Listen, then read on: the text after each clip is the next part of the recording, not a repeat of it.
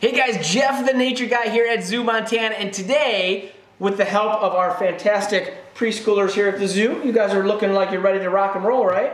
Mm-hmm. Yeah, perfect. We're gonna talk about butterflies because it is springtime and we're gonna start seeing more and more of them and especially we're gonna start seeing how they transform into butterflies and I tell you what, we have all three stages right here to show you. Now first of all, we're gonna get a close look inside there. This is actually a painted lady cat, well it's a butterfly, it's gonna be a butterfly, it's a painted lady butterfly, but right now it's in what we call the larva stage, the caterpillar. So this little caterpillar is gonna crawl around, it's gonna eat all those, all those leaves and it's gonna be a very hungry caterpillar like the book says, and they're gonna eat a bunch of leaves and they're gonna get really big. Then what's gonna happen is, then what's gonna happen is they are gonna form this right here.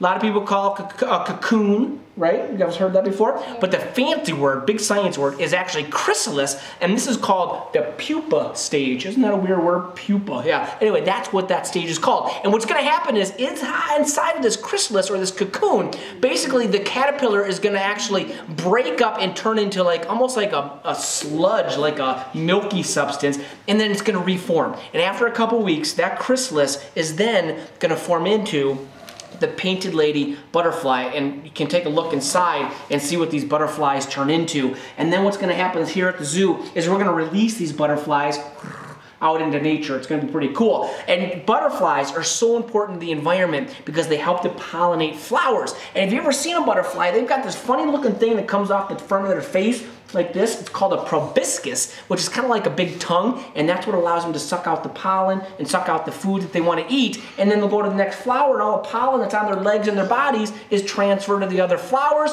and that's how flowers you get flowers over there and get flowers over there. That's how flowers move because flowers can't walk, can they?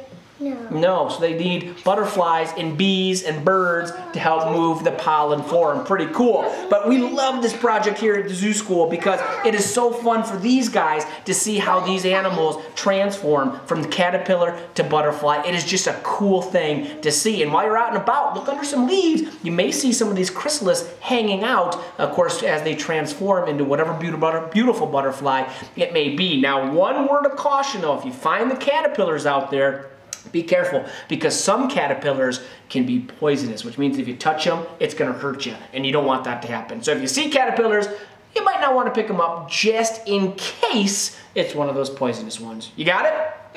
Awesome. Guys, until next time, I am Jeff the Nature Guy here with our Zoo School Preschool and our beautiful painted ladies.